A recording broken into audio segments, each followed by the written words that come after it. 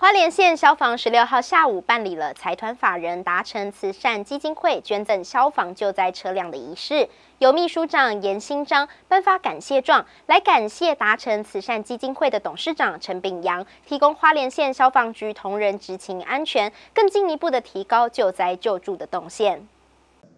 达成慈善基金会董事长陈炳阳长期从事回馈乡友的义举，在一百零八年获聘为县政顾问。捐赠花莲县消防局住宅用火灾警报器，累计共计有八千颗。响应消防工作由抢救转为预防，免费提供花莲县弱势族群装设，保障县民们生命财产安全。你的八千个助警器，你有比你经济，我给你做，今晚我还不强，我不搞，我好一句话。吴局长说：“我和他讲过一句话，前几天我答应他，我再给今年再给你四千个，四千个助警器，响应我们的徐县长的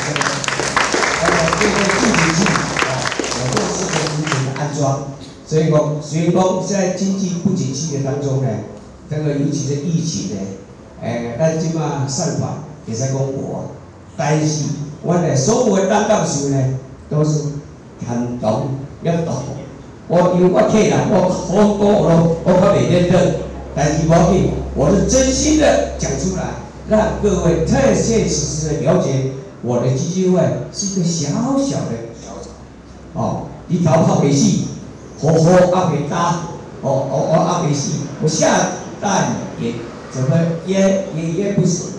总有一句话，我们是真心的奉献，我希望我们在花莲。能够好好的来付出抛砖引玉。而董事长任新系消防眼见核能分队在今年一月成立，专责隧道救灾，至今未配有消防救灾车。四月号，并且主动捐赠给花莲县消防局消防救灾车一辆，以提升偏远地区救灾救助的能量。县府秘书长尹香表示，县政府的资源有限，但民力无穷，相当感谢慈善基金会不断的传播善念的种子。进一步强化消防救灾抢救的品质及效能，保障居民们的生命财产安全。